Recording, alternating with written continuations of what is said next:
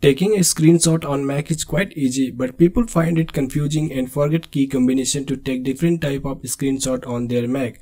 In this video, I will show you every type of screenshot you can take on your Mac. This is a basic Mac tutorial, but even if you are a pro Mac user, you should watch this video till end. You will find something new in this video. The first thing first, if you want to capture whole screen of your computer like every visible part on the screen, then press Command Shift and 3 key together to take a whole screenshot on your computer and it will save itself on the desktop by default. You can see I got that screenshot on the desktop. Our second type of screenshot is if you want to capture selected region on your screen like selected part then you have to press command shift 4 key to enable this crosshair tool. By this tool you can select the area on screen. Just select the area on your screen by moving your mouse on trackpad and release the mouse and it will take a screenshot of the selected region. You can see that I got that screenshot on the desktop. Here is that screenshot. And the third type of a screenshot is if you want to capture a selected window on your desktop like a software window, a browser window or any window on your desktop then you have to press shift command 4 key. This will enable crosshair tool now release those keys and press space key and you will get a camera icon on your desktop. Now you have to uh, highlight the window you want to capture. Like if I want to capture dock items, I have to click here and it will capture the screenshot. You can see I got the screenshot of dock menu.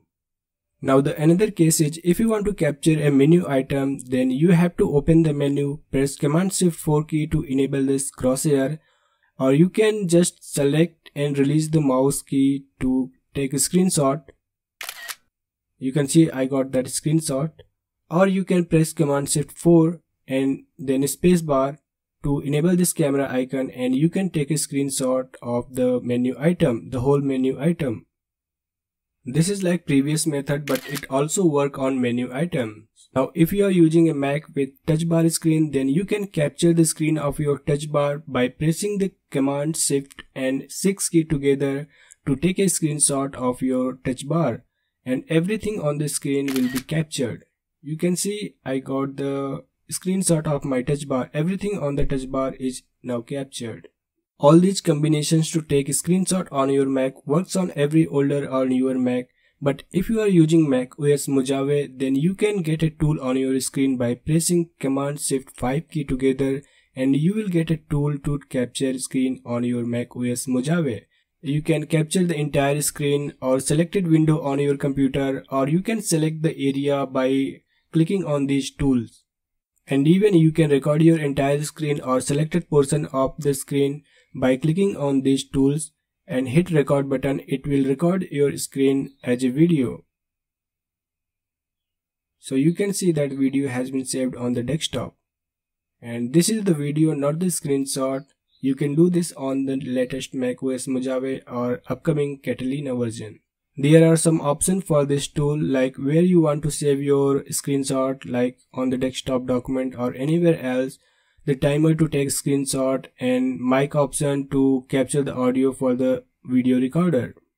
Now if you are someone who forget these key combination easily and can't remember it then there is a tool inside your Mac OS which is called preview.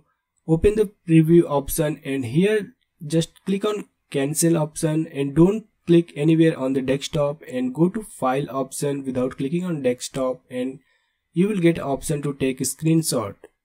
From here you can take a screenshot of selected part or entire screen or the selected window. It works like the key combination tool. You just have to click on file and click on take a screenshot and you will get a screenshot on your desktop. Now if you are on a Mac with touch bar screen then you can take a screenshot by expanding the touch bar menu and then tap on camera icon and it will enable the screenshot tool on your uh, computer screen as well as on the touch bar. You can select the option from your touch bar screen or you can move your mouse on the computer screen to take a screenshot.